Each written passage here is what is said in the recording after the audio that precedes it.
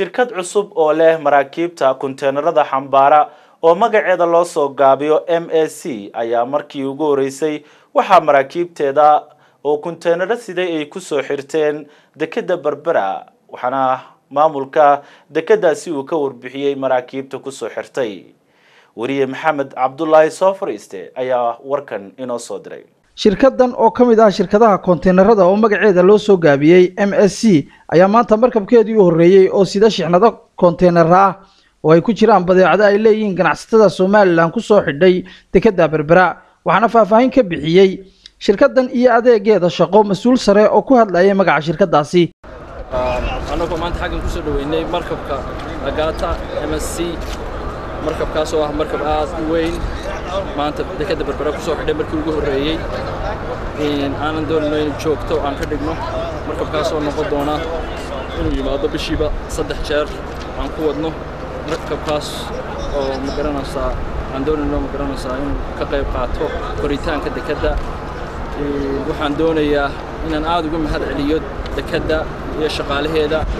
Oo ugu horreeyo maareeyaha dekedda ku-xigeenkiisa iyo dhammaan shaqaalaha kaloo dhan oo ma garanaysaa shaqo aan yarayn nala qabtay.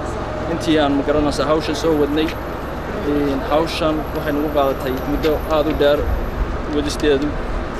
Intaana waxaa naga caawiyey dekedda shaqaalaheeda.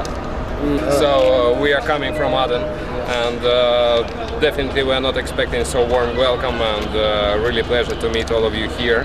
Thank you for all of the things, and I hope uh, this kind of ports and relationship will be improved within uh, MSC company and with us, and we do our best uh, to maintain uh, our relationship uh, further and uh, good going.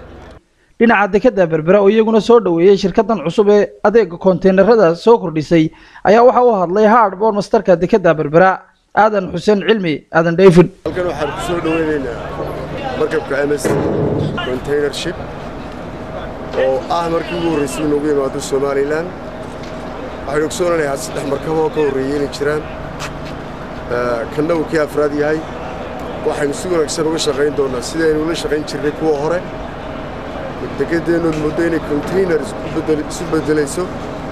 Waxaynu rajeynaynaa inay kuwani qaar ka sii badan noo yimaadaan shirkadan shaqadeeda hadda uun ka bilowday dekeda berbera ayaa ka mid noqon doonta shirkadaha xidhiidhka shaqo la yeelan doona dekeda berbera iyadoo inta badan ay ganacsatada somalilan imika ku keenaan badeecadahooda konteenaro.